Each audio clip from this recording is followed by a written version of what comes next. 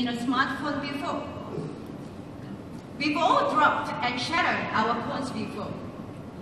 And it's a huge Merhaba sevgili izleyiciler. Barcelona'da yeni telefonlar tanıtılmaya devam ediyor. Az önce HTC One M9'u sizlere anlatmıştık. Şimdi Samsung lansmanındayız.